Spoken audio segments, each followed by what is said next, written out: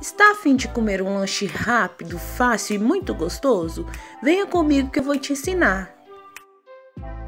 Em uma panela, coloque um fio de azeite ou um fio de óleo. Acrescente 200 gramas de bacon picado e deixe fritar por uns minutinhos.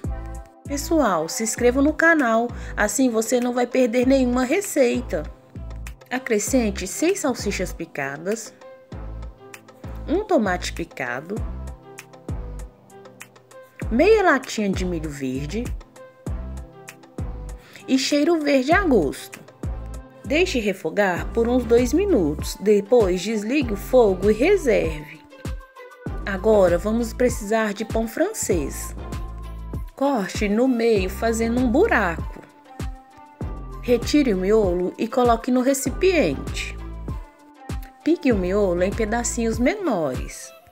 Gente, esse lanche é muito rápido e fica delicioso.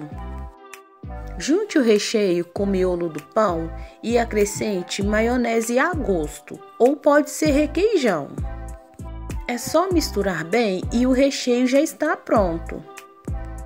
Agora coloque os pães na assadeira e vamos rechear. Coloque de 2 a 3 colheres de recheio. Para finalizar, coloque mussarela e orégano. Leve para o forno até que o queijo derreta. E esse lanche maravilhoso já está pronto. Olha que delícia! Façam aí, é super rápido e fácil. Eu tenho certeza que vocês vão gostar.